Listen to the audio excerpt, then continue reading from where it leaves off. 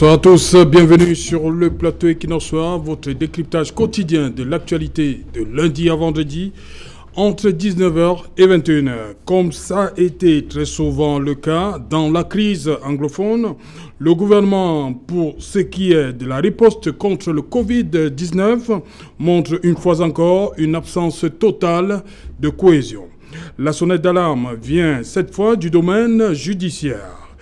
Quelques heures après le communiqué à la nation du Premier ministre chef du gouvernement sur les 13 mesures gouvernementales pour éviter la propagation du coronavirus, le garde des Sceaux, dans un message porté aux dix chefs de cour d'appel, sollicitait la suspension pour un mois des audiences sur toute l'étendue du territoire. Une décision balayée le lendemain par le communiqué sanctionnant la concertation interministérielle restreinte tenue hier à l'immeuble Étoile, toujours en rapport avec hein, la lutte contre cette pandémie au Cameroun.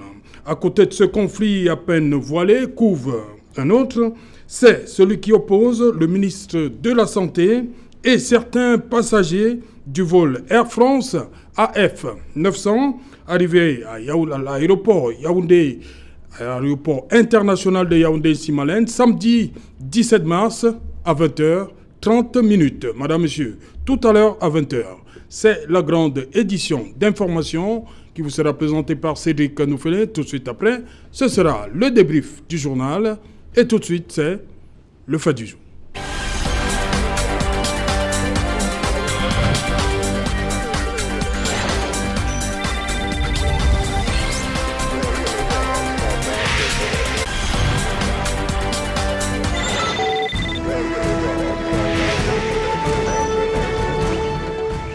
Coronavirus et Cameroun, cacophonie gouvernementale. Pour en parler, je suis en plateau ce soir avec euh, Footing Bonsoir.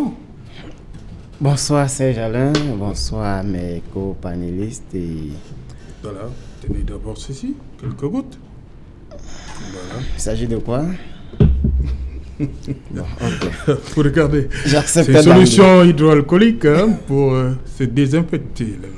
J'espère qu'il y aura aussi assez dans les prisons de Kondengui pour que les militants du MRC jusqu'alors incarcérés ne soient pas aussi infectés et que d'autres amis politiques dans d'autres prisons soient épargnés de cette épidémie qui menace aujourd'hui la santé globale. Vous demandez qu'on pense aussi à mettre ces désinfectants de ce côté-là. Justement, parce que ce sont des milieux où il sera difficile de demander aux gens d'avoir un rayon de, de 1 mètre ou plus. Là, ils sont incarcérés. On connaît des Il y prisons. plus de 50 même. Hein. Comme la prison, par exemple, centrale de Douala ou même le Carrefour de Koti.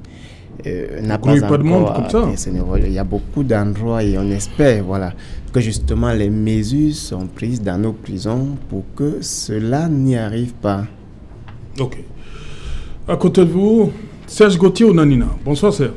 Bonsoir Serge Alain, bonsoir à vos milliers de, et millions de téléspectateurs. Je m'excuse pour le retard. J'étais en train de soutenir un ami éprouvé à l'hôpital dont j'ai pas pu déjà rentrer à la maison pour le dress code et puis euh, je m'en excuse aussi auprès de vous et de toute la direction d'Equinox Télévision.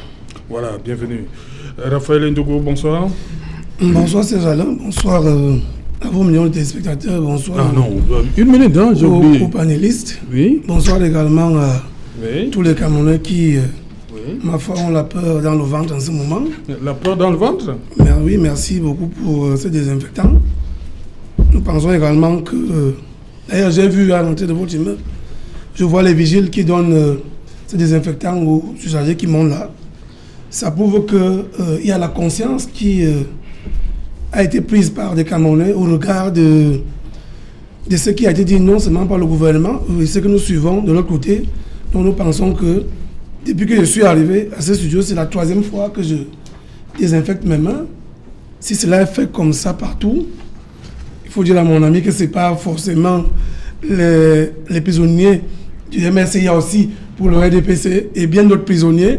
Nous pensons que véritablement. Ah, il y a les prisonniers du RDPC Il y a les prisonniers du RDPC, c'est pas caché. Eh ben, ceux-là sont des voleurs. Ils sont là, bon, de toute façon, prisonniers égale prisonniers. Eh ben, nous voulons que les dispositions soient prises pour, tous ces détenus, quel que soit leur chapelle politique, quoi qu'ils aient fait, mais qu'ils soient épargnés de cette affaire-là.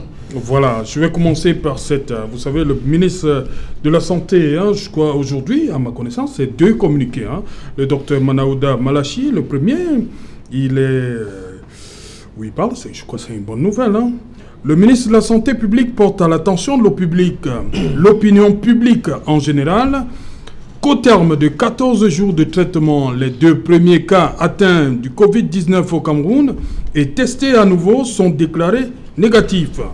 Ces derniers ont quitté leur lieu d'isolement ce jeudi 19 mars 2020 pour regagner leur domicile où ils resteront en observation pendant quelques jours. Le ministre de la Santé publique salue les efforts menés par les personnels de santé et tous les acteurs impliqués dans la riposte contre cette pandémie. Il invite les populations à redoubler de vigilance et à respecter scrupuleusement les règles d'hygiène ainsi que l'ensemble des mesures édictées par le gouvernement afin d'éradiquer le plus rapidement possible le Covid-19. Première réaction, cher monsieur. Alors, alors, moi, je voudrais commencer par me féliciter déjà de la communication du ministre de la Santé parce que je considère, sans étant. Si ce n'est pas les tweets et les communiqués. Je considère que dans le gouvernement de la République du Cameroun, dans le gouvernement RDPC, c'est l'un des ministres qui est le plus communicant.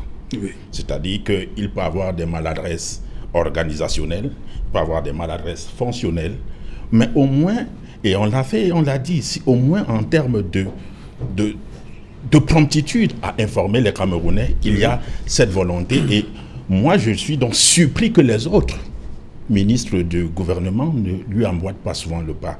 Maintenant, ça c'était pour la qualité de la communication, la promptitude à communiquer, pour la psychose qui est liée au coronavirus, il est mhm. important qu'on soit, euh, on se euh, commence à mais c'est une bonne nouvelle quand même. Hein. Oui, c'est pour ça que je dis qu'il est important qu'on commence à avoir espoir.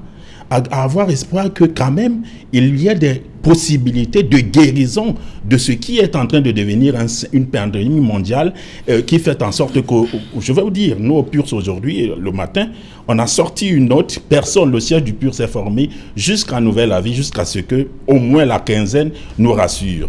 Et je me réjouis également concernant toujours euh, euh, cette communication que le gouvernement de la République ait pris le Premier ministre a pris la décision avec, sur instruction, dit-on, du chef de l'État, même s'il faut toujours s'interroger s'il va falloir attendre que le chef de l'État prenne. On parlera justement de cette aspect. Fermer les frontières. Voilà, fermer les frontières. Parce que si vous nous suivez, vous faisiez la, la veille, vous verriez que depuis vendredi de la semaine dernière, nous en appelions à la fermeture des frontières parce que lorsqu'un virus n'a pas de traitement, Lorsque ceux qui ont sont censés avoir la meilleure technologie en la matière, les meilleures ressources, la meilleure ressource humaine en la matière, commencent à fermer les frontières comme l'ont fait les États-Unis, il fallait que ça attire notre attention. Je voudrais partager une confidence avec vous. J'étais aujourd'hui sur une chaîne concurrente avant d'aller, une chaîne de radio avant d'aller à l'hôpital et j'ai, on a eu la, présence d'esprit d'appeler M. Alexandre Sewe oui qu'on connaît, qui est en, ce moment à Paris, qui a décidé de ne pas revenir au Cameroun. Moi, je lui ai posé, j'ai demandé aux journalistes de me permettre de lui poser une ou deux questions. Et l'une des questions majeures et fondamentales que je lui ai posées, c'était, on lui a posé la question de savoir quelle est la situation là-bas. Il disait dramatique et que la France dans, laquelle, dans laquelle il vit aujourd'hui ou dans laquelle il vit, cette France est une France dans laquelle on commence à sélectionner les malades à suivre. C'est-à-dire que si vous êtes âgé et que l'autre a 30 ans, on préfère privilégier le malade qui a 30 ans parce qu'on espère qu'il, on estime qu'il a un espoir de vie. La France commence à craindre de ne pas avoir suffisamment de lits pour pouvoir héberger tous les malades. Du coup, donc, ce n'est plus. Et je voudrais que, peut-être sans être celui qui plante le décor du débat, qu'on comprenne, avant de poursuivre ce débat, que ce n'est pas une affaire d'appartenance politique, de l'opposition du pouvoir, de sardines, de tontines, de, de, dernier sur ce plateau. Pardon, faisons une pause, s'il vous plaît, chers compatriotes, et pensons que nous sommes en guerre contre un ennemi. Un ennemi et nous sommes face à l'intérêt général. Après, quand ce sera passé, je vais rencontrer mon ami Zoudjing et je vais lui dire des choses que j'aime bien lui dire et lui aussi va me les dire. Mais ça n'empêche pas qu'on ait le débat citoyen sur le plateau. Justement, Zoudou, sur cette nouvelle, hein, ces deux premiers cas de guérison, on va le dire comme ça, la sortie du ministre de la Santé. Oui, moi je pense que la chose qui était actuellement en train euh, voilà, euh, de détruire l'état d'esprit des, populations vient de, baisser. Au moins pour une fois euh, au Cameroun, dans notre pays, il y a un ministre qui informe les populations de l'évolution de la situation et le fait que deux personnes aujourd'hui soient euh, testées négatives au Covid-19 nous donne au moins l'espoir que si demain, avec les mesures qui sont euh, prises, si demain nous avons 50 cas, peut-être on aurait la possibilité de soigner 30, de soigner 40. Pourquoi ne même pas soigner les 50 euh, Aussi, vous savez, il y a des maladies qui tuent les gens même avant qu'ils avant ne soient euh, contaminés, avant qu'ils ne soient infectés. La façon dont on communique autour d'une maladie peut faire ce que les gens commencent à mourir d'une simple grippe avant même d'être testés euh, positifs ou négatifs au Covid-19.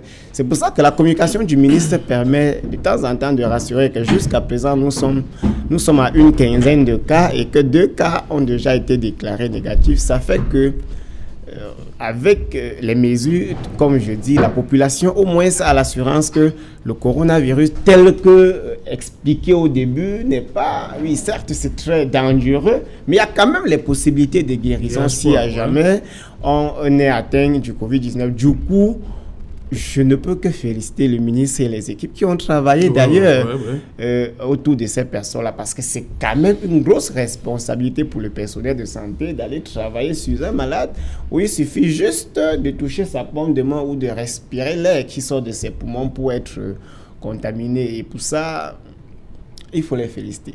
Voilà, Raphaël Ndougou. Sur ces deux premiers cas, cette bonne nouvelle, on va le dire comme ça, annoncé par le ministre de la Santé, Dr Manaouda Malachi. Il faut, il faut même dire que c'est une exclusivité camerounaise.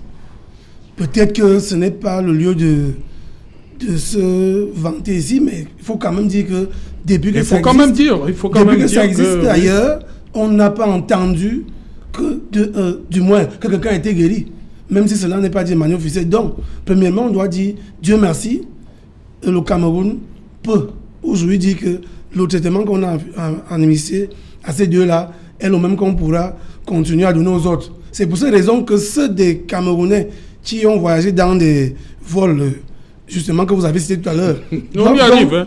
doivent éviter de, de, de, de s'infiltrer, de fuir. Comme on nous l'a appris que non, certains ne veulent pas rester dans l'isolement parce qu'il y a espoir. Si on était en matière de sûreté, on allait vous dire que la, sécurité aujourd'hui est au niveau de donc elle est élevée. Parce que la menace est là. Et puis maintenant, il faut éviter, c'est-à-dire que le moins de risques, qu'on sait qu'il y a un risque à tel endroit, il faut prendre les mesures pour que le risque soit écarté.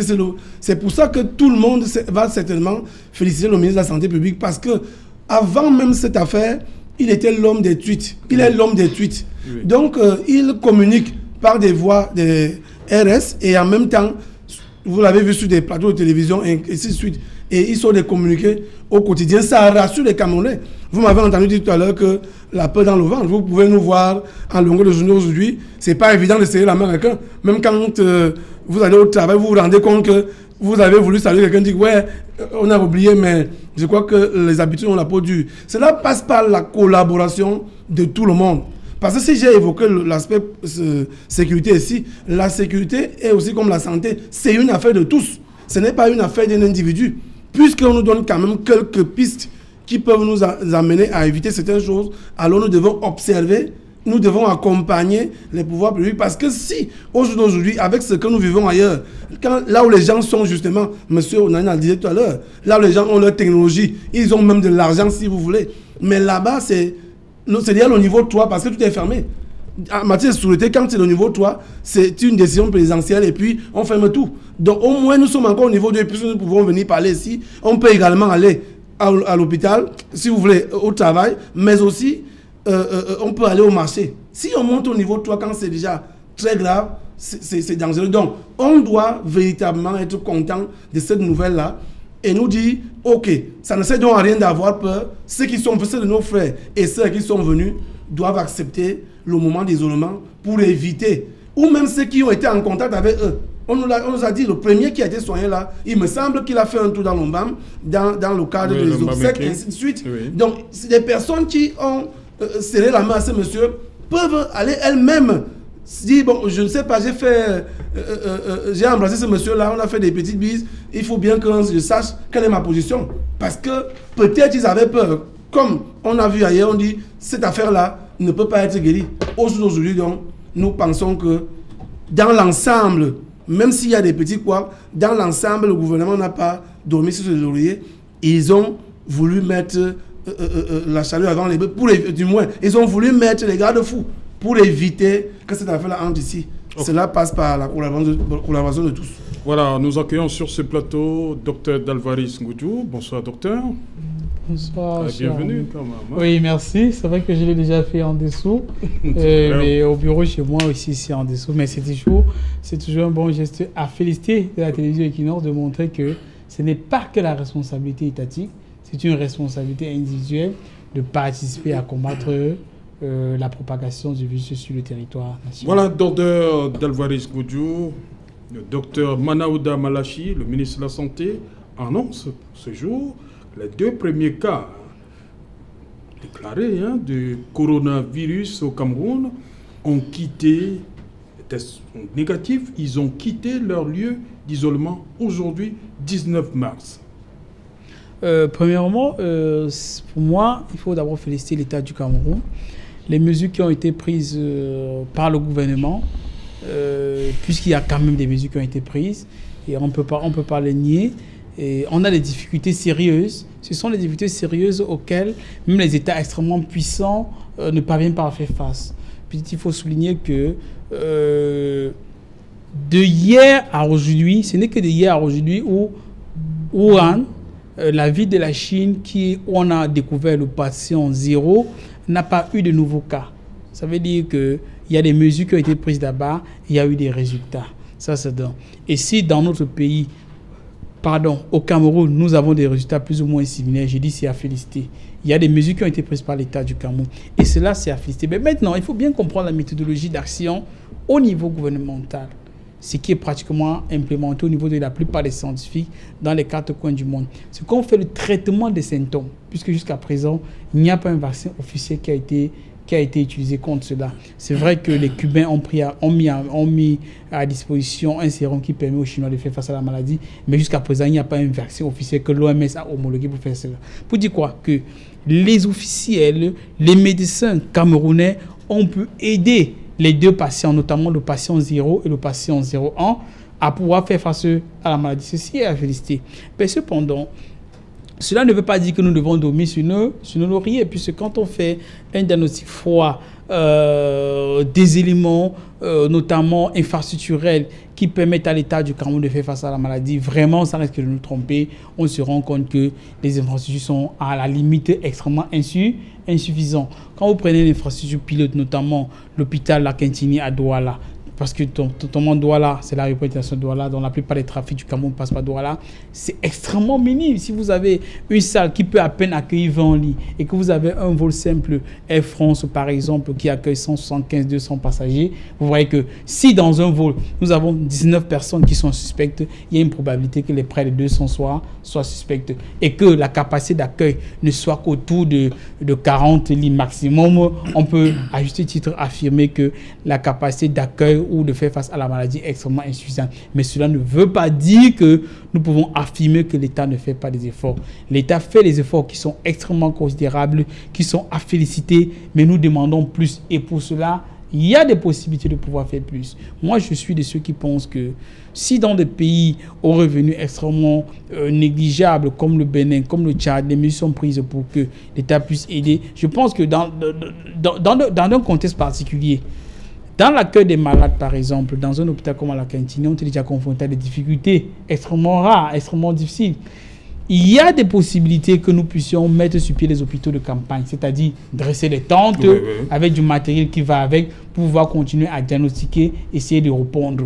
Euh, je ne sais pas si le délégué de la santé dans la région du littoral a pu regarder dans ce sens-là. J'ai pu effectuer aujourd'hui, après le bureau, une descente au niveau de l'hôpital gynéco-obstétrique de, de Douala. Il y, a, il y a des salles, il y a des bâtiments à l'arrière euh, de l'hôpital qui sont vides il n'y a ni matériel, il n'y a ni personnel. Nous pensons que ce sont, c'est un hôpital interdit dans tous les cas. Nous pensons que ce sont des espaces qui peuvent être rentabilisés du moins euh, dans lesquels on peut accueillir des personnes qui sont dans le besoin jusqu'à présent. On dit que l'État a fait euh, beaucoup de son mieux pour que nous puissions avoir des résultats que nous rencontrons actuellement, mais nous pensons que l'État peut faire mieux. Il suffit bien de regarder les postes de disponibilité, différents espaces sur le territoire national. Voilà, justement, dans cette haute sortie du ministre de la Santé, il dit qu'un centre de prélèvement spécial sera aménagé sans délai au Palais des Sports, Palais polyvalent des Sports de Yaoundé, dans le respect du règlement sanitaire international. Sera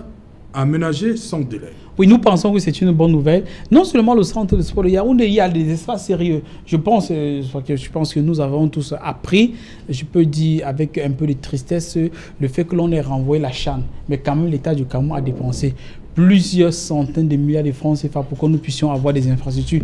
Est-ce qu'il y a une possibilité que les différents stades soient mis euh, à utilisation pour pouvoir continuer à diagnostiquer, puisque ce n'est pas acceptable, par exemple, aujourd'hui, que les gens diagnostiquent à Douala, que l'on envoie les résultats, pardon, qu'on on prélève, on fait des prélèvements à Douala, et que l'on envoie cela au centre pasteur Yaoundé pour atteindre les résultats. Nous avons un grand centre, par exemple, à Japoma, à plusieurs milliers de places. Nous avons des grands centres à Yaoundé, je veux dire des stades. Est-ce qu'on peut continuer à effectuer des, des, prélèvements là-bas pour pouvoir avoir les résultats? Et voire même assurer la quarantaine, puisqu'il y a un problème sérieux qui est au niveau de la quarantaine, au niveau des opérateurs économiques. Voir dans quelle mesure assurer la quarantaine au niveau de ces infrastructures que l'État a déployé beaucoup d'argent pour pouvoir les mettre debout, voir dans quelle mesure cela puisse vraiment être utile à, à l'État de nos jours. Je pense que oui, c'est une bonne mesure que le ministre de la Santé a prise, que le gouvernement de l'État du Cameroun a prise. Mais au-delà de cela, nous pensons toujours qu'il y a des poches que nous pouvons diagnostiquer, il y a des poches de possibilités que nous, nous sommes en train de laisser de manière dormante qui peuvent vraiment aider l'État du Cameroun à faire face à la maladie. Je pense au stade de Bafoussam, au stade de Garoua, euh, ici dans le sud-ouest, Boya, Limbe, Douala, etc. Ce sont des infrastructures qui ont une grande capacité. Je pense que si l'État y regarde bien, cela peut aider à faire face à, cette, à ce virus. Fautine, vous vouliez dire quelque chose? Parce qu'il faut qu'on revienne dans le sujet. D'accord, je voulais seulement dire que quand j'écoute le docteur euh, Davaris euh, Goudjou, parler, j'ai comme l'impression qu'il s'adresse à, à l'État de notre pays. La seule chance que nous avons jusqu'à présent, j'appelle ça la chance, et pas seulement le Cameroun, beaucoup d'autres pays d'Afrique jusqu'à présent, c'est que le virus n'est pas véritablement entré chez nous. Quand je vois les pays tels que la France, tels que l'Italie, tels que l'Espagne, qui, avec euh, des fonds de souveraineté, avec du sérieux et qui continuent à faire des cas, je me demande même si nous avons la possibilité de, de, de pouvoir combattre à 2% ce qu'ils font là-bas. C'est pour ça que nous devons beaucoup lutter pour que le virus n'entre pas au lieu de croiser les bras, il se dit qu'on a la possibilité, on a des stades. Parce que aménager un stade avec une capacité d'accueil, par exemple, de 10 000 personnes, ça demande des infrastructures qu'il faut importer des pays, qu'il faut importer des étrangers parce que nous n'avons pas d'industrie. Il y a un sérieux problème.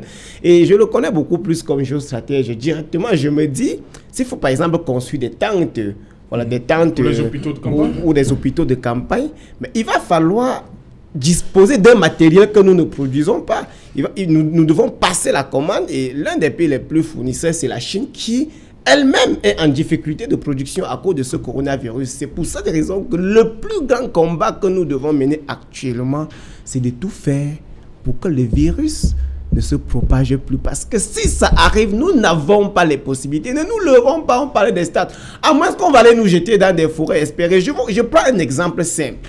Si on a sorti les gens de l'aéroport international de Douala pour les loger, pour les mettre en quarantaine ou du moins en sécurité dans des hôtels et que certains se seraient échappés parce que le lendemain matin, il n'y avait pas à manger, il n'y avait pas de suite, il n'y avait pas l'argent pour payer les chambres, ainsi de suite. Mais ce n'est pas aménagé 10 stades dans le Cameroun. L'argent pour payer les chambres, comment est-ce que c'est eux qui payent les chambres? Oui, mais les, responsables, oui, justement, vont aller enquêter, demander pourquoi ils sont partis. Le matin, certains disent ne pas avoir mangé. Oui, oui, là, on n'a on a, pas à manger, on ne nous prend pas en charge, on nous met là, on nous demande d'attendre. Mais il y a d'autres clients il y a l'hôtel euh, qui est exposé, il y a tellement de choses que nous ne pouvons pas faire. C'est pour ça qu'il faut éviter.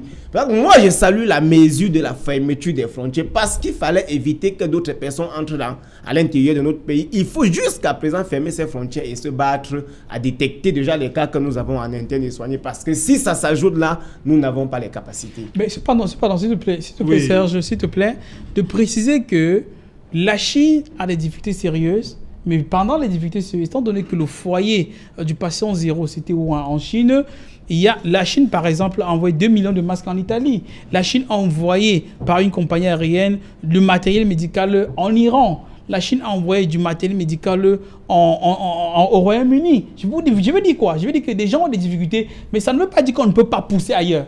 Et mon ami euh, pour qui j'ai beaucoup de respect, dit que, et justement, c'est parce que l'État a réquisitionné les infrastructures qui appartiennent au, prix, au, privé. Mais maintenant, les stades appartiennent quand même à, à l'État.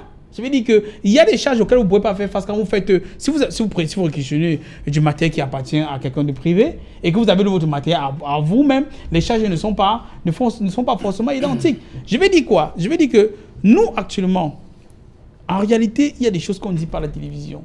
Donc, de dire qu'il y a des choses, il y a des, le virus n'est pas vraiment rempli, ce n'est pas conforme par la réalité. Il y a des chiffres auxquels on a accès. On ne peut pas forcément les publier ici, là. Puisque on ne veut pas apeurer la population, on ne veut pas faire paniquer la population. Mais en réalité, quand le gouvernement de l'État du Cameroun prend un certain nombre de mesures, c'est parce qu'il y a des éléments qui concourent effectivement dans ce sens-là. Et pour cela, nous devons, nous avons la responsabilité d'encourager l'État à continuer à explorer les poches de résistance, de réponse au virus. Le virus, c'est là, on ne peut pas le nier. Ce n'est pas les 5 ou pas 18 cas dont l'État fait allusion. Si nous ne faisons pas, si nous ne faisons pas, euh, si nous ne soutenons pas l'État dans ce sens-là, si nous ne parvenons pas à faire une approche euh, optimale dans ce sens-là, ou alors plus ou moins de manière optimale dans ce sens-là, je pense que ça risquerait d'être extrêmement grave, comme l'a dit le président de l'Organisation mondiale de la santé L'Afrique est très mal partie si nous ne prenons pas les mesures des aujourd'hui, surtout puisque le virus commence depuis, depuis décembre en Chine. Ok. Euh, Serge Gauthier Onanina, avant-hier, le Premier ministre chef du gouvernement a listé 13 mesures. Et la, la quatrième parle des rassemblements de plus de 50 personnes interdits. Et à la suite de cette sortie du Premier ministre chef du gouvernement, il y a eu le Premier ministre, il y a eu le ministre d'État Laurent Issot qui est sorti, qui a fait un message porté à l'endroit des chefs des cours d'appel, demandant de suspendre les audiences sur l'ensemble du territoire. Mais le lendemain, lors de cette réunion restreinte interministérielle, on décide que rien n'est suspendu, les audiences doivent se poursuivre. Ben, euh, Comment comprendre ça? ben, écoutez, Une fois de plus, ben, écoutez, monsieur, techniquement, les audiences peuvent se déroulé avec les deux parties, sans public. Donc je ne vois pas en quoi c'est... Sans public Bien sûr. Les, les, audiences sont publiques, mais sans, elles peuvent se dérouler sans les personnes qui ne sont pas concernées. Puisqu'on demande des regroupements basiques, minimal, de moins de 50 personnes. On vous demande si vous êtes concerné par l'audience en question. Si vous n'êtes pas concerné, vous attendez hors de l'infrastructure. C'est simple comme bonjour. Ça fait que le système judiciaire continue à fonctionner, le justiciable continue, euh, euh, trouve satisfaction à sa préoccupation, mais il n'y a pas surabondance sur le plan technique et pratique de, euh, de, de, de, de l'institution. Moi, je suis plutôt intéressé par la solidarité, la complémentarité gouvernementale. Parce que j'ai l'impression qu'au départ au Cameroun, on a voulu laisser à la charge, la, la gestion de cette crise sanitaire au seul ministre de la Santé. jusqu'à ce qu'il y ait une certaine pression et que le Premier ministre... C'est une, une affaire qui est globale. Et moi, je suis surpris qu'on dise que lorsqu'on sort d'un pays à risque, qu'on passe des contrôles, des postes de contrôle, de détection, et qu'il y a certaines personnalités qui aient Oui. été, qui aient fait partie des vols et qui se soient débinées. C'est d'abord un problème d'immaturité sur le plan. Au niveau des, des fonctions qu'ils occupent, c'est un problème d'irresponsabilité sérieux. Quand on occupe une, une- Et moi, je dis, le Premier ministre, chef du gouvernement, aurait dû faire une sortie Voilà, musclée. je veux, question. je, je veux- je- on va- puisque vous parlez de ce problème, Oui. est-ce que le Premier ministre ne devrait pas accompagner son ministre de la Santé pour que cette, euh, ce co- cette décision soit véritablement implémentée? Ben, Est-ce que Manaouda Malachi n'a pas été lâché par le Premier ministre John Kouté Manaouda Manachi, je, le, je commande Parce qu'il fait un deuxième communiqué aujourd'hui, hein, Oui, toujours par rapport à ce vol de samedi. oui. Ça veut dire que c'est grave et c'est marqué urgent. Toujours par rapport au vol Air France AF 900 de samedi. Ça veut dire que sur le plan à la fois collectif et que et sur le plan individuel, il faut que chacun prenne ses responsabilités. Ce n'est pas parce qu'on occupe une haute fonction dans cette République qu'on n'est pas mortel, qu'on n'est pas humain. Parce qu'il y a là ce qu'on appelle le principe de l'exemple par le sommet. Oui. Écoutez, monsieur Otou, vous ne pouvez pas estimer gérer les gens et que vous soyez exposé potentiellement, on ne dit pas que vous êtes malade, mais vous êtes potentiellement exposé à quelque chose qui peut mettre en dérive un pays, en péril toute une nation, et que vous vous extrayez, soustrayez. Et les personnalités concernées ont des services de communication. S'ils estiment donc que l'accusation qui se généralise et qui se répand comme une traînée de poudre est fausse, qu'ils nous apportent les résultats de leurs examens et que leur service de communication apaise. Ça, c'est la première des choses. La deuxième des choses, c'est que le ministre de la Santé n'aide qu'à soigner, ne peut aider qu'à prévenir, ne peut attirer que l'attention lorsqu'il peut. Mais quand il s'agit de fermer les frontières, d'interdire que les gens n'aillent plus dans les bars, ce n'est plus de son ressort. C'est du ressort du MINAT, c'est du ressort de la Délégation générale à la Sûreté nationale, c'est du ressort de du secrétariat général à la gendarmerie, donc du ministère de la Défense. C'est d'autres ressorts.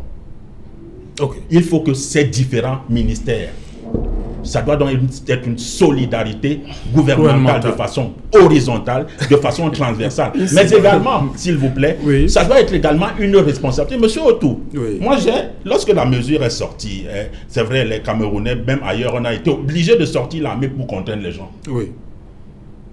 Il faut que les Camerounais prennent conscience du fait que lorsqu'on dit fermer les bars à 18h, même si on est d'accord que le virus ne va pas atteindre 18h pour se propager, qu'il n'entre pas dans les bars à 18h, la porte est fermée, Être derrière. être derrière. Monsieur Otou, À qui trouve la porte du bar fermée d'abord? Mais eux ils sont à l'intérieur. Il faut que quand le bar est fermé, il le soit complètement et réellement. Vous comprenez? Il peut être complètement fermé, mais pas réellement fermé. Réellement fermé signifie qu'il y a des individus à l'intérieur qui continuent de boire. à désobéir la mesure gouvernementale. Monsieur Otou, vous avez certainement, je ne sais pas si vous avez un véhicule, ou parfois vous pouvez emprunter le taxi. Qui n'a pas vu de surcharge aujourd'hui dans, le véhicule, dans les taxis? Qui n'a pas vu de moto? Que fait la police et la gendarmerie? Que font-ils? Non, moi j'ai vu les policiers hier empêcher, faire descendre, débarquer une Je, dame je- qui est je- dans je ce voudrais que vous utilisiez l'indéfini, certains. Non, je parle de ce que j'ai vu hier. Oui, moi certains j'en ai pas vu. policiers, certains Non, policiers hier. je vous parle des policiers que j'ai vus hier au feu Qui rouge font donc des- Bessengue à Douala. Ok. Je donne l'endroit, hier. que, il faut que le civisme, c'est-à-dire le professionnalisme de ces policiers que vous avez vus se répande. Voilà. à et s'étendre à tous les autres policiers pour que on ne se retrouve pas dans une catastrophe nationale qui va faire en sorte. Je vais vous dire une chose, et vous le savez, si vous êtes infecté, vous infectez votre épouse, vous infectez votre, vos enfants, vous infectez tous vos amis, vous infectez vos consultants et chroniqueurs et autres invités que nous sommes. Vous infectez vos collègues. Donc c'est une responsabilité personnelle. C'est une responsabilité aussi, euh, C'est la réciproque. Vous voyez comment j'ai pris un cas simple un jour. Je dis, si quelqu'un se place au carrefour Ndokoti, il tousse alors qu'il est contaminé, puisque c'est un rayon d'un mètre. Puisque moi, on m'a soutiré là dernièrement. parce que nous étions serrés. C'était vendredi. Donc, s'il touche seulement sur un rayon d'un mètre, ça fait une dizaine de personnes qui peuvent aller tousser. Vous voyez. Donc, quand on dit, de parti, quoi. ça veut dire qu'on peut se retrouver avec 3 000, 4 000, 5 000 personnes en moins de 4 jours. Ok. Donc, quand on demande aux gens d'être conscients, ce n'est pas une simple affaire de l'État du Cameroun, c'est l'État du Cameroun plus la responsabilité citoyenne. Il ne faut pas que les gens disent tu es plus patriote que qui. Je dis que quand il faut qu'on meure là, le patriotisme là, plus patriote que qui là ne va pas, la mort là ne va pas choisir. Raphaël Ndougo, sur cette situation, je vais vous passer la parole, docteur, permettez. Raphaël Ndougo, sur cette situation cocasse, le ministre de la Santé est obligé de sortir une seconde fois pour euh, demander aux passagers du vol Air France AF 900 de samedi dernier de pouvoir se rendre dans le, se faire détecter. Pourquoi on en arrive là? Est-ce que le Premier ministre, ma question est celle-ci, est-ce que le Premier ministre ne devrait pas accompagner le ministre de la Santé? Pour ce cas-ci Si je dois répondre à cette question, je crois qu'il l'a déjà fait hier, parce qu'il a tenu un conseil de ministres avec les responsables de la sûreté, Oui. que sont la sûreté nationale, la gendarmerie nationale, Oui, justement. pour accompagner, pour que ces mesures-là soient appliquées. Parce que je crois que les 14 mesures, c'était avant-hier. Oui. Donc, il est- il est- il s'est vu obligé de demander à ces forces de maintien de l'ordre-là d'accompagner pour que les populations. Non, il leur demande d'organiser des patrouilles diurnes et Voilà. nocturnes. C'est ça la Les patrouilles. Les patrouilles, justement. Maintenant, il se Mais pas pour contraindre les passagers du vol AF 900. Honnêtement, nous l'avons dit d'entame ici, que cette affaire de santé, c'est pour tout le monde. Oui. Tout à l'heure, j'ai entendu les surcharges. Qui accepte de se faire surcharger, c'est nous. Si Oui. je dis, je ne monte pas sur une moto, quand nous sommes deux, je ne monterai pas. Parce qu'en fait, la moto doit porter une place. C'est la responsabilité est individuelle. Je refuse de me faire surcharger dans un taxi. Parce que si on met chaque policier derrière chaque, chaque Camerounais, on est à peu près 20 millions, il va falloir 20 millions de policiers, 20 millions de gendarmes. Non. En vérité, c'est que nous prenons conscience du risque qui est là et que nous devons éviter. C'est pour ça que je vous dis que nous sommes au niveau 2 en matière de sécurité, où chacun doit pouvoir contribuer pour qu'on n'ait pas de problème. C'est peut-être pour ces raisons que les uns les autres ont dit, peut-être que si le virus, comme ailleurs, sera entré ici, peut-être que vraiment, on ne serait même pas là pour parler. Maintenant, il se trouve quand même que ceux qui sont venus par vol, ils se plaignaient qu'ils n'ont pas été pris en charge, il n'y avait pas de nourriture et tout et tout. Figurez-vous que c'est des affaires privées. Il y a des hôtels là où les gens cherchent, font leur business. Le temps peut-être de la paperasse pour euh, prendre les engagements, l'État doit prendre les engagements. Vous avez vu que le gouverneur était à l'aéroport international de Douala. Ils ont réquisitionné les bus des sociétés que nous avons vues à cette chaîne Equinox. Donc vous pouvez comprendre. bus de la communauté urbaine. Et d'autres bus, peut-être que vous n'avez pas vu, mais j'ai vu ça sous vos caméras. Je ne dirai pas le nom de la société. C'est pour dire quoi? C'est pour dire que l'État a pris l'engagement à ce niveau. Maintenant, ceux qui sont partis de la France, parce qu'il y a la menace est réelle là-bas, parce que le risque est élevé là-bas, peuvent donc nous accompagner, dans ce- accompagner le gouvernement dans ce sens-là, en restant un peu, peut-être euh, tout responsable. Ce n'est pas parce qu'on n'a pas pris le petit déjeuner au matin, comme on est habitué en France, qu'on croit que quand on va arriver ici à Douala, le temps de prendre les dispositions pour que un hôtel X envoie ses, ses, ses, ses majordomes au marché, le temps de signer les papiers avec l'État du Cameroun qui va devoir supporter cela, on saute pour aller chercher, entrer en famille. Si jamais on est contaminé, off, on va La on question, va avec pleurer. votre permission, la question étant, s'il avait été en France, aurait-il eu le courage de se soustraire Pas du tout. d'un dispositif de sécurité mis en place par l'État? Ça Pas veut dire en a un problème de fond, au-delà de l'incivisme, du laxisme et du déni que les uns et les autres sont en train de cultiver en eux. Le système de corruption Voilà. que nous avons intégré pendant des années est en train indirectement ou directement de nous rattraper. Il y a une certaine rumeur, parce que je préfère m'en tenir à la rumeur la parce que je n'ai pas pris le temps de vérifier, qui indique que pendant que les passagers rentrent d'un vol, il y en a, il y a des appels téléphoniques qui se passent pour soustraire les proches de certaines personnes parce qu'ils ont des positions de pouvoir. Je pose la question sérieusement de savoir est-ce que la position du pouvoir donne, si elle donne une humilité diplomatique ou bien, je ne sais pas moi, Onanina. institutionnelle, est-ce qu'on fait une humilité vitale? Monsieur, Ok. Monsieur Onanina, permettez, de, de ma- il de manière, de manière Non, il- responsable. termine D'accord. propos. Après, ce sera vous, Footing. Il Tout à l'heure, le docteur Dalvatis a jeté justement, euh, a voulu tracer un chemin en voulant démontrer qu'il ne faut pas qu'on dorme. Il faut qu'on crée des endroits où les gens peuvent aller se faire, je sais pas, dépister, ainsi de suite. Si le risque est élevé, il ne faut pas qu'ils viennent nous su- surprendre. C'est des propositions réelles parce qu'en réalité, il ne faut pas qu'on se retrouve comme dans les autres pays. À ce niveau-là, il a raison. Maintenant, est-ce qu'on a les moyens? Il faut qu'on trouve les moyens pour que si jamais on se retrouve là, ce n'est pas d'ailleurs un souhait d'un seul Camerounais. C'est pour cette raison, à un moment donné, même s'il y a la corruption, comme dit Serge Gauthier, et on peut quand même se surpasser. Je pose encore la question. Ceux qui viennent de la France sont partis là-bas pourquoi? Parce que le risque est très élevé et le gouvernement là-bas a demandé qu'on ferme Est-ce que c'est pourquoi ils sont partis? De- pour certains. Non, non, de toutes non, les raisons non, pour on certains. ne peut pas. il On faut ne peut dire pas, qu'on ne il peut pas, pas, mais il vous, faut vous pas, pouvez il faut comprendre que pas c'est que pour notre certains, diaspora se sente menacée. Il y a des gens qui paient, il y a des gens qui paient des billets Euh, d'avion même deux mois avant, qui ont des voix. Dénonçons l'acte que ceux qui ont. Oui, mais il faut pas. on ne- que ce n'est pas on pour ça. on ne peut moins, nier le fait que le nombre de 200 voyages était- devenu anormalement Parce que la France a fermé. La France a fermé. La femme a dit nous restons dans les maisons. Et c'est là donc je, pose la- je continue de poser la question. Si vous voulez donner la réponse, vous trouvez donc normal que si quelqu'un n'a pas pu le petit déjeuner dans un hôtel X et que la solution c'est qu'il aille prendre ça à la maison avec le risque qu'on connaît. Évitons absolument tout risque. C'est ça que j'ai dit quand j'ai commencé ici. Que. Au niveau sécurité, au niveau de chaque fois que le risque est, est avéré, il faut chercher à trouver une solution. Ok. Moi, je pense que l'irresponsabilité euh, citoyenne que nous dénonçons actuellement commence au sommet de l'État. Le président de l'Assemblée nationale était avec ses députés nouvellement élus. Les députés auraient dû euh, abandonner voilà l'hémicycle et lui demande d'aller d'abord donner la garantie qu'il n'est pas infecté pour que nous ne soyons pas contaminés. Je ne sais pas. Ça dit que il y a des responsables de notre pays déjà qui ne se montrent pas responsables. Moi, je dis jusqu'à présent que celui qu'on est en train de sacrifier, c'est le ministre de, la, Santé. Parce que même les Camerounais qu'on était en train de chercher qui auraient abandonné les États et autres, moi, si c'était un militant du MRS, on l'aurait retrouvé depuis des mois. Donc, moi, je pense qu'on peut mettre. Qu'on peut Ah, si c'était des- un militant du MRC, on- retrouvé. On, cherchait, on l'aurait retrouvé Eh, depuis. des- le gouvernement.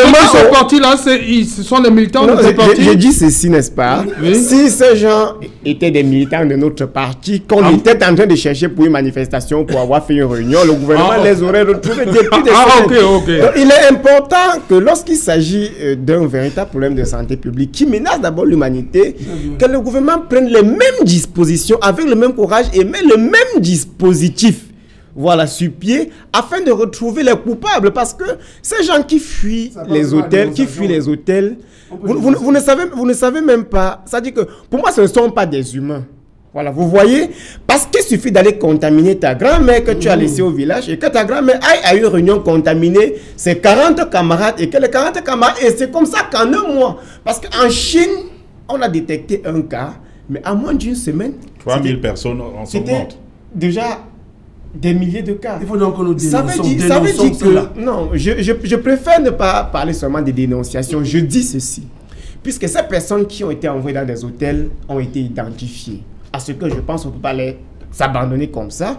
Ça veut dire que dès demain matin, le gouvernement a les moyens et les possibilités de les retrouver et même de les punir s'il le faut. Oui. Parce que même s'ils sont partis de la France pour n'importe quelle raison, lorsqu'on vous demande de rester ici et de nous donner la garantie que vous ne nous amenez pas le virus de la mort et que le lendemain matin vous vous échappez, même si vous dites qu'il n'y avait pas à manger, même si vous dites qu'il n'y avait pas ci et ça, au moins ce- pour protéger votre propre famille, pour protéger vos amis que vous avez laissés au pays, pour protéger vos concitoyens, vous devez rester là. 14 nous 14 jours n'est pas tuant pour la vie humaine. Mais demandons aussi aux responsables de ce pays qui sont parfois les présidents de l'Assemblée nationale, parfois les enfants des ministres qui passent souvent des coups de fil pour soustraire les proches dans les avions parce que, parce que, demandons-leur aussi de se montrer responsables et que les députés qui sont allés porter euh, euh, euh, les, les, les effigies et les écharpes devant le président de l'Assemblée nationale qui étaient réclamés de manière indirecte par les ministres de la santé publique comprennent que avant même de commencer leur mandature, ils nous ont montré combien de fois ils ont besoin de L'autre ces question étant même demain, il y aura fusion parlementaire. alors- Demandons à ces députés le pourquoi ils ont abandonné le peuple qui leur a élu et sont allés vers quelqu'un qui est soupçonné, ce n'est pas confirmé, d'être porteur du Covid-19 parce Non, non. que cette personne se Rien trouvait ne- dans un vol où les gens Voilà, avaient été contaminés. On parle du vol. On Non, ne dit non, pas parlons du vol. Parlons parle du vol. vol. C'est- Il médical. dit, il dit Alain. je permets, permettez, le communiqué du, du ministre dit ceci. ce vol est considéré par les services compétents comme un vol à risque. Voilà, on va revenir, on va, on va revenir. Permettez, permettez, Cédric nous est déjà là. Bonsoir Cédric, comment menu ce soir? Bonsoir Serge Alain, bonsoir aux invités. Ce soir, nous allons évaluer la mise en application des mesures gouvernementales. 48 heures après leur annonce, l'opposition euh, relève déjà des insuffisances criardes avec l'inexistence des couloirs sanitaires dans les hôtels réquisitionnés, la cacophonie dans la communication gouvernementale et l'absence d'une commission nationale de lutte contre la pandémie de coronavirus impliquant des scientifiques de haut niveau camerounais et bien sûr la classe politique, la société civile qui devrait aussi être engagée de concert avec le gouvernement. Et où en est-on avec l'application de ces mesures? Dans les marchés, le ministre du Commerce a donné des indications sur l'attitude que devraient adopter les commerçants. Très peu respectent ces mesures, les prix ne cessent de flamber, les règles d'hygiène sont loin d'être respectées dans les espaces marchands. Nous ferons le point dans le journal de 20h. Nous évoquerons également euh, ce soir les inquiétudes des députés à la veille d'une session parlementaire à haut risque en raison des soupçons qui planent sur euh, des cas suspects parmi les députés, dont le président de l'Auguste Chambre basse du Parlement, qui était dans un vol en provenance de Paris en France, vol considéré à haut risque par le ministre de la Santé publique et qui a convoqué la session parlementaire. Vous suivrez les réactions de ces députés, notamment du PCRN, les réactions du MRC concernant la stratégie de riposte contre la pandémie du coronavirus. Et quelques bonnes nouvelles au moment où les Camerounais s'inquiètent avec trois nouveaux cas euh, détectés positifs dans le vol Air France venu le 17 mars 2020 le ministre de la Santé publique fait savoir que les deux premiers cas sont guéris et sont testés négatifs.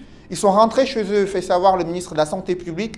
Nous en parlerons dans le journal de 20h. C'est Jalin. Voilà, madame, monsieur, c'est dans l'essentiel du journal de 20h que va vous présenter dans un instant Cédric Noufelé. Nous, on va revenir après pour le décryptage, ou si vous voulez, le débrief de ce journal, toujours en compagnie de nos quatre invités. Ce sera le débrief du journal, madame, monsieur.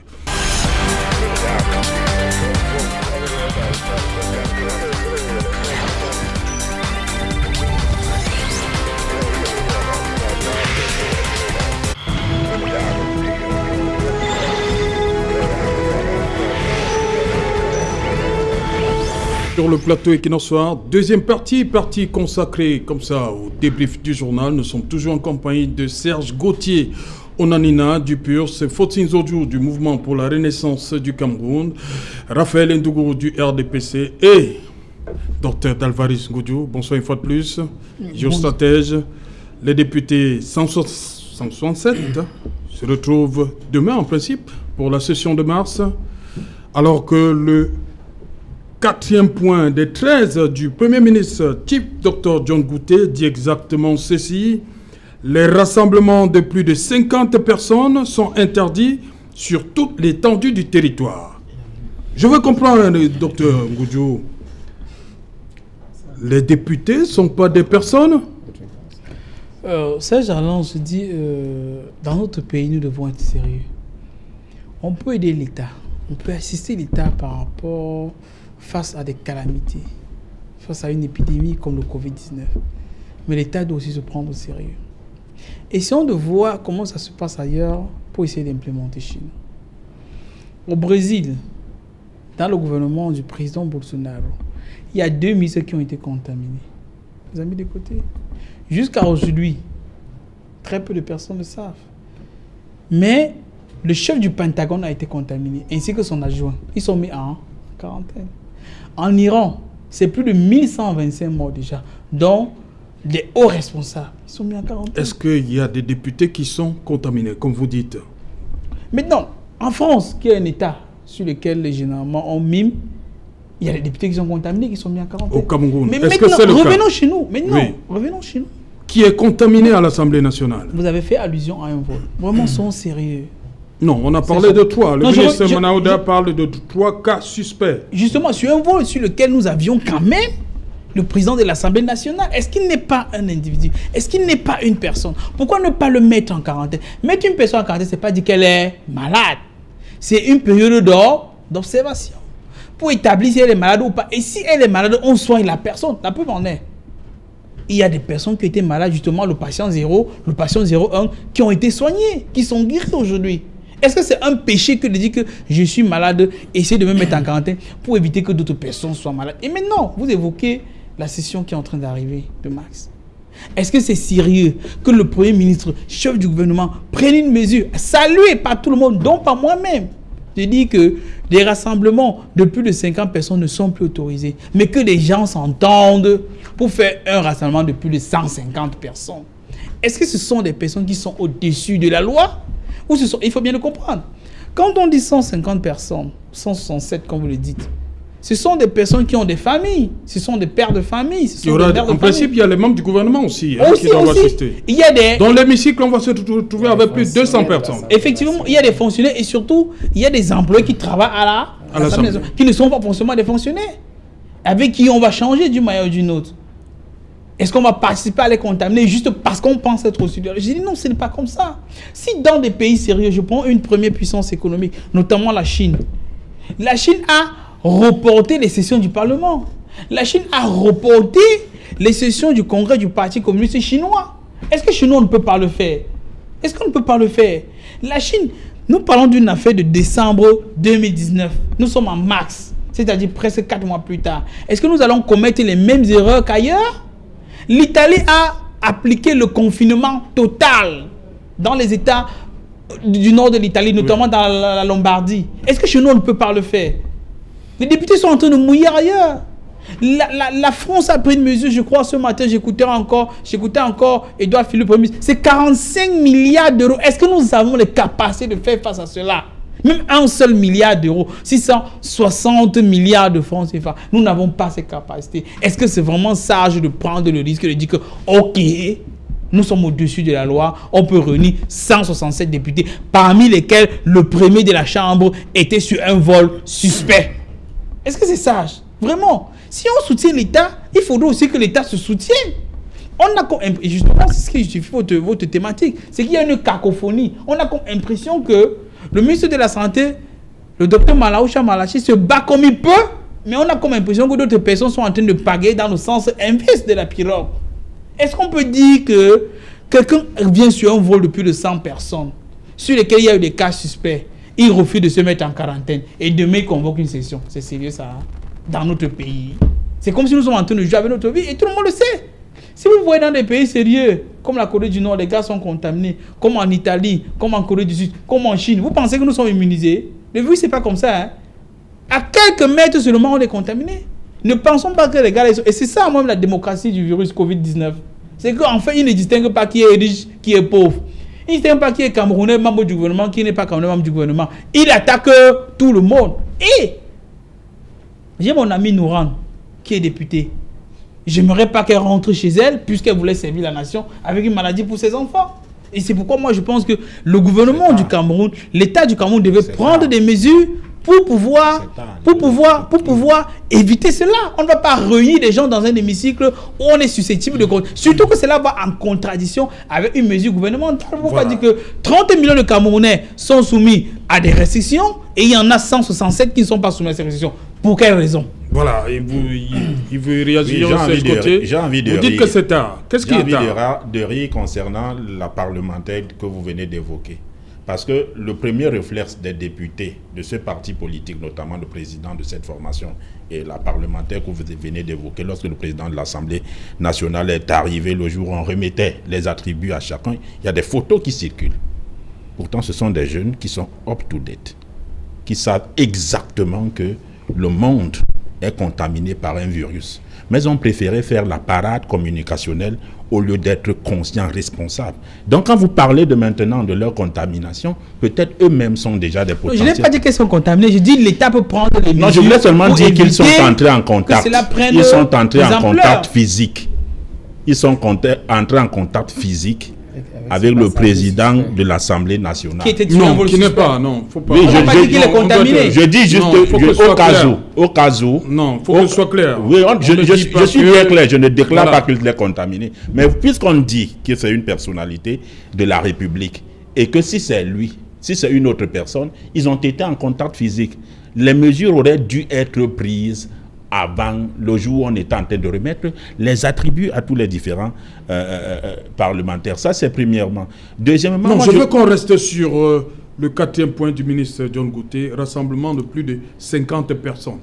Laissons, c'est contaminé ou pas, pourquoi l'Assemblée qui a 167 députés, avec les amis, les membres du gouvernement et tout ça, on risque d'aller à plus de 200 Mais, Pour comprendre cette attitude mais, du palais de verre de C'est pour cela que je continue à m'interroger sur. J'ai commencé avec cette même question. Est-ce que l'immunité parlementaire confère l'immunité vitale?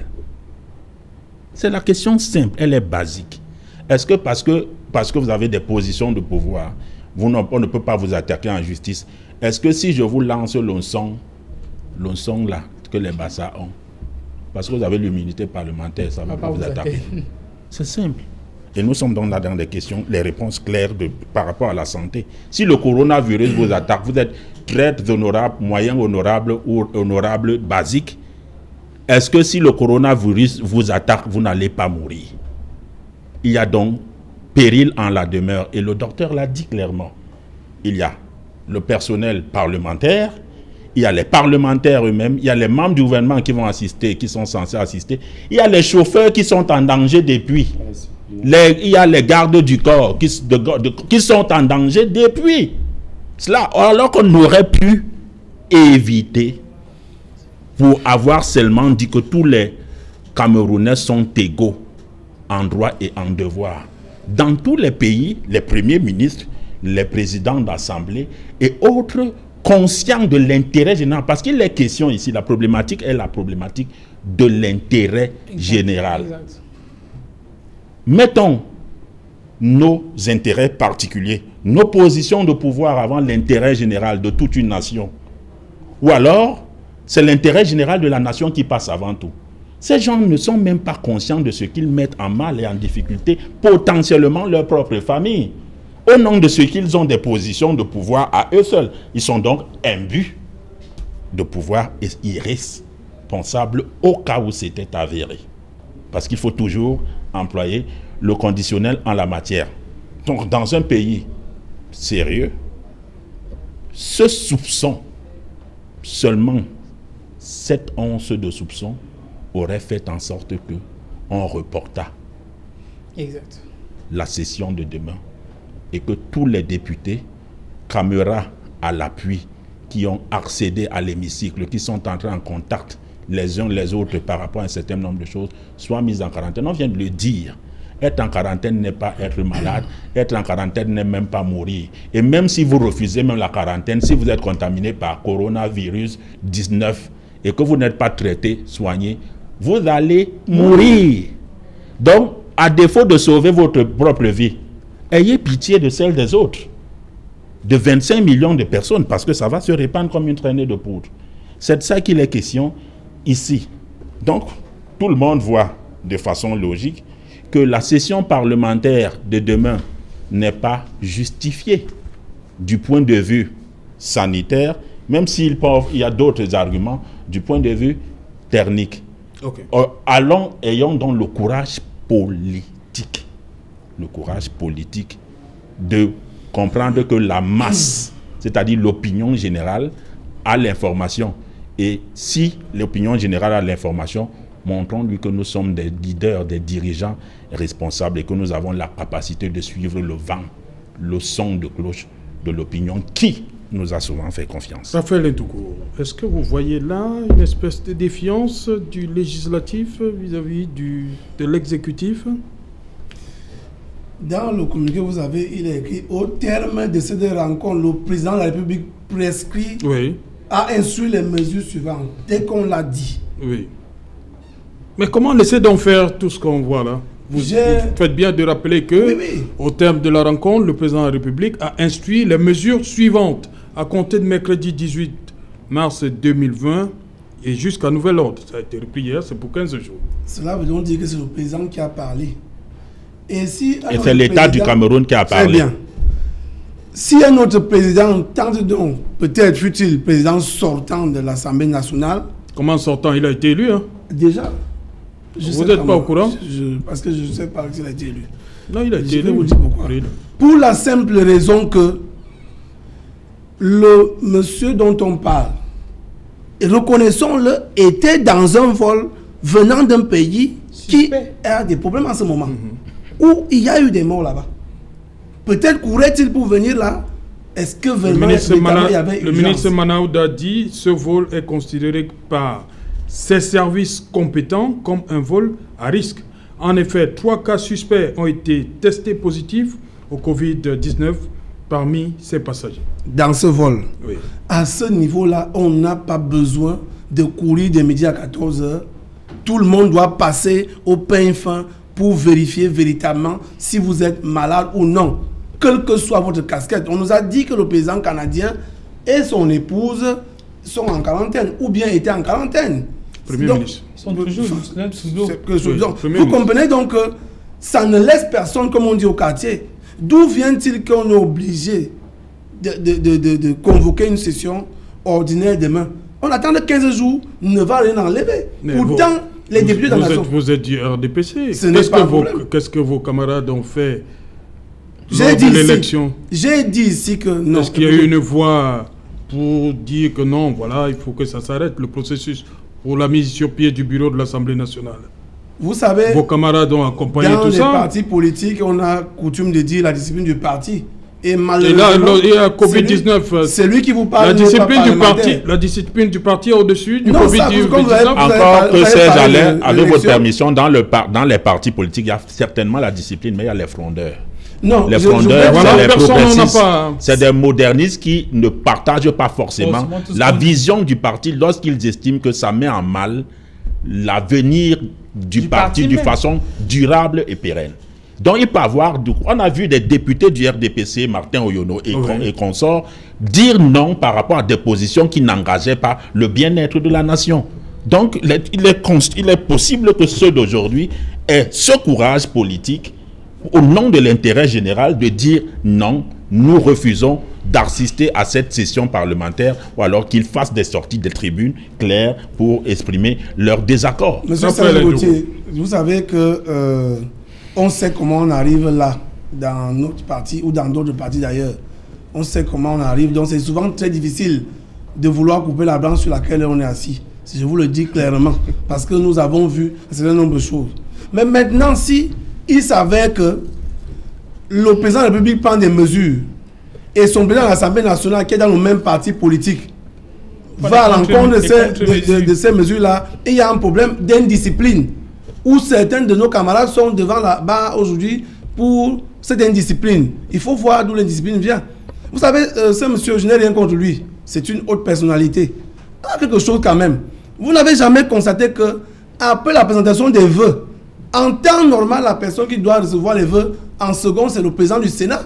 Mais chaque fois qu'il finit de présenter les vœux au président, le même jour, il va euh, recevoir ses vœux. Pourquoi vous arrêtez pas ça? C'est pas à moi d'arrêter ça, monsieur. Non, je parle pas de vous. Très bien. De votre, Mais votre vous, appareil. Vous pouvez comprendre donc que nous autres, nous observons, nous observons cela et nous pouvons le dire avec force. Pourquoi? Parce que le Premier ministre a juste parlé, mais au nom du chef de l'État, tout le monde devait se mettre en branle. Vous nous avez posé toute la question tout à l'heure de savoir est-ce que le ministre serait abandonné Par le Premier ministre. Par le Premier ministre. Ce n'est même pas seulement l'affaire du Premier ministre, c'est tout le monde qui doit se mettre au travail. Ça dit qu'on devait voir le ministre du Tourisme ici à Douala parce que les hôtels des privés ont été réquisitionnés. Il devait venir voir comment ça se passe, quelles sont les conditions qu'on héberge, euh, par lesquelles les gens sont, sont hébergés. Ce n'est pas une affaire de parti politique. Aujourd'hui, M. Naya nous a dit à l'entame des missions, c'est une affaire de santé publique. Et cette affaire-là concerne tout le monde. On a cité les hautes personnalités ailleurs. Nous ne sommes pas exemples de cette affaire-là. Nous ne sommes pas à l'abri. Donc il n'est pas question. Moi, je crois que peut-être d'ici demain matin, on pourra annuler cette affaire-là.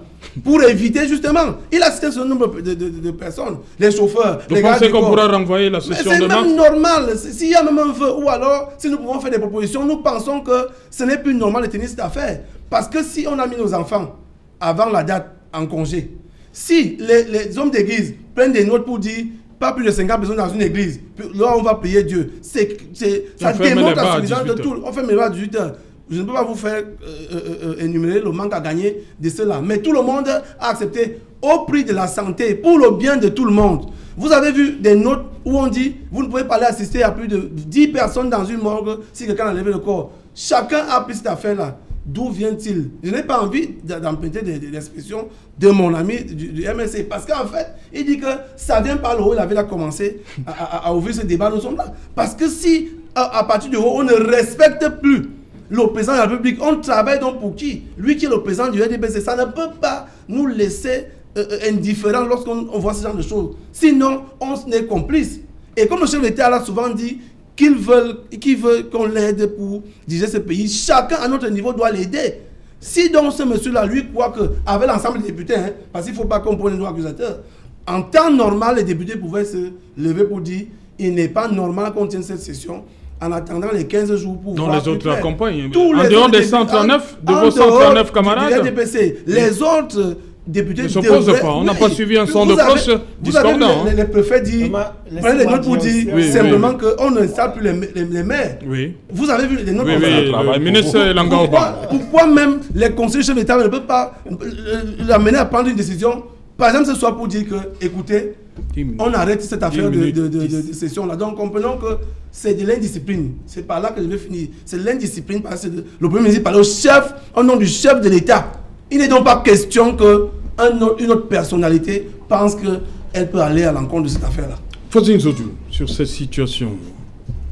Moi, je pense que les autres euh, ont dit euh, beaucoup de choses, c'est essentiel et que la population a bien compris. Moi, je vais plutôt euh, déplorer le fait que les députés eux-mêmes, étant élus de la nation, au début d'une législature commence à oublier leur rôle.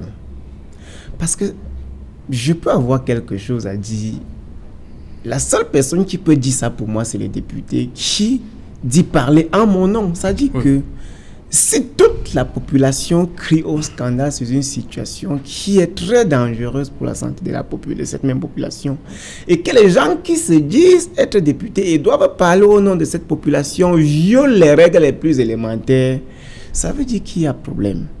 Alors, si le vol de Air France, qui a été déclaré suspect par les experts du ministre de la Santé publique, avait transporté parmi ses passagers Monsieur le Président de l'Assemblée nationale, qui d'ailleurs, on avait vu la session de plein droit être renvoyée parce qu'il fallait qu'il atterrisse au pays pour hériter de son trône. Non, c'était ah pas... Bon, pour... euh, pas officiel. Hein? Oui, bon, pas de, de manière officielle, mais on estimait que puisqu'il était absent, peut-être il fallait qu'il arrive pour être à nouveau élu. Cela a été fait. Par la suite, une fois qu'on est élu, je pense qu'on peut se soustraire de la masse et se mettre en situation de sécurité pour préserver la vie de la nation. On a vu plutôt les députés oublier cette situation de coronavirus et s'afficher en selfie parce qu'il faut parcourir les réseaux sociaux et montrer aux gens que pour une fois on siège aussi à l'Assemblée nationale. Ça pose problème. Ces députés qui vont aller demain à la première session ordinaire de cette Assemblée, de cette législature, est-ce qu'ils ont conscience du danger qu'ils sont en train de faire porter à la population? Est-ce qu'ils écoutent les médias internationaux parler du coronavirus? Est-ce qu'ils lisent les articles scientifiques? Est-ce qu'ils regardent Equinox Télévision? Est-ce qu'ils regardent la CIATV qui est, euh, qui est un média public? Est-ce qu'ils ont lu le communiqué du Premier ministre qui parlait au nom du chef de l'État? Est-ce que si le patron qui a été élu par eux-mêmes commet des fautes, est-ce qu'ils ne peuvent pas corriger? Parce qu'ils sont avant tout députés et ne peuvent se soumettre que à la population. Est-ce que si ces députés refusent de se présenter demain à l'Assemblée nationale, on les traduira en justice? La réponse est non. Alors, d'où vient-il que des personnes qui ne vont pas perdre leur salaire, qui ne vont pas perdre leurs privilèges, qui ne vont pas voir l'électricité être coupée, d'où vient-il qu'ils font comme si, qu'elles font comme si participer à une session ordinaire de l'Assemblée nationale était un luxe. Comme si participer à cette, à, cette session devrait finir les problèmes du pays à l'heure où l'unique problème que nous avons actuellement, au moins pour une fois dans notre pays, les J'ai vu, permettez-moi, j'ai été surpris de voir M. Patrice Ngana inviter le Premier ministre à fermer les frontières. J'ai vu le controverser pour une fois parler, euh, même, même, même les militants du RDPC venaient acclamer parce que le problème devient de plus en plus sérieux. Il y a un consensus national. Alors, lorsqu'il y a un consensus national, il ne faudrait pas que ce sont des élus qui viennent s'aimer la pagaille et que la population qui veut se reconnaître en ces élus-là, en les voyant respecter d'abord les mesures du Premier ministre, qui sont des mesures d'ordre général et d'ordre sécuritaire, d'ordre sanitaire également pour la santé de la population.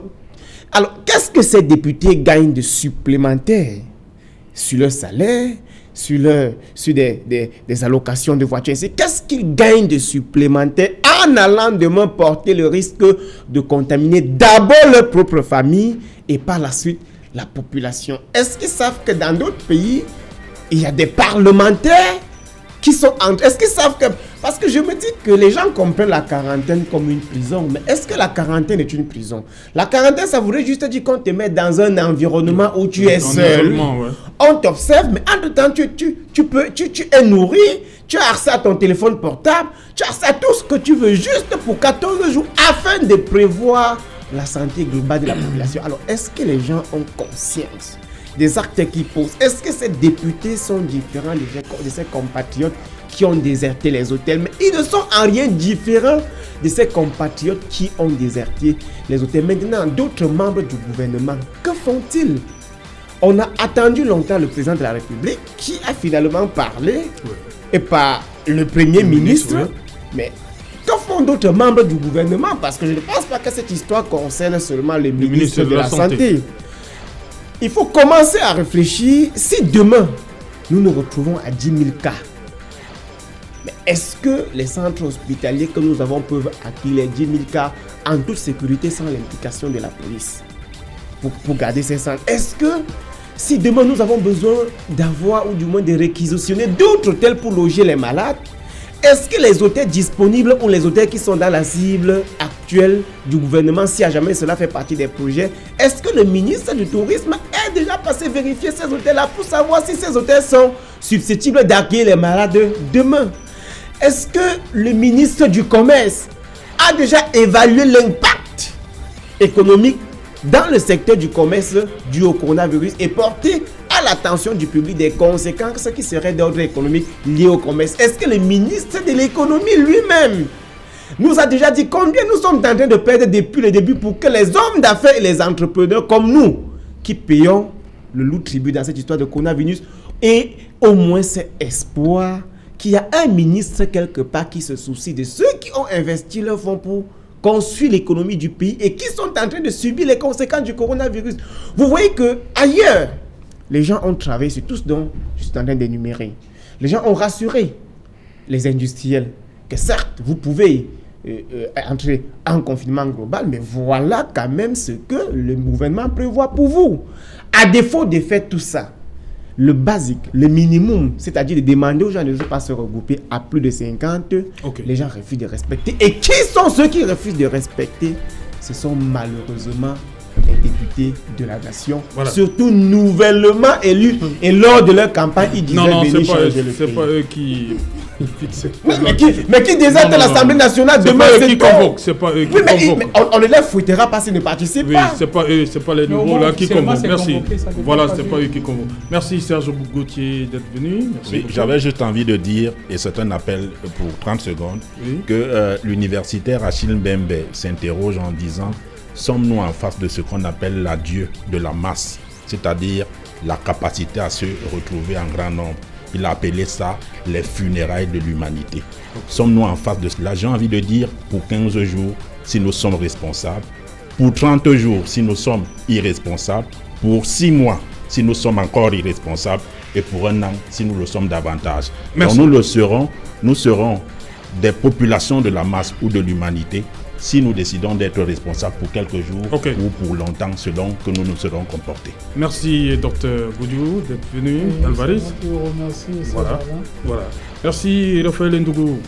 Merci Serge Tout, j'ai croisé deux jeunes hommes ils ont dit que même le Boko Haram, ils ont appelé que même les, le nord et sud-ouest, il n'y a plus de bruit à cause du coronavirus. Donc ça veut dire que ça peut régler ce problème du nord et du sud-ouest. Ok.